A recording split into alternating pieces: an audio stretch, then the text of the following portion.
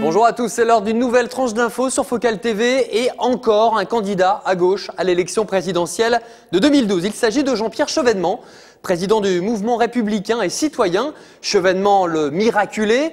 À 72 ans, il remet ça. Le président du MRC avait recueilli, souvenez-vous, 5,33% des voix lors des élections présidentielles de 2002. Chevènement qui avait ainsi participé à l'éparpillement des voix de gauche.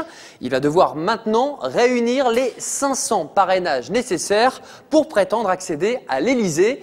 Et c'est à se demander si lui-même croit en sa candidature. Au moins, il va pouvoir en tout cas participer et enrichir le débat d'avant présidentiel, c'est déjà ça. Mais cette candidature pose quand même la question de l'âge pour nos hommes politiques.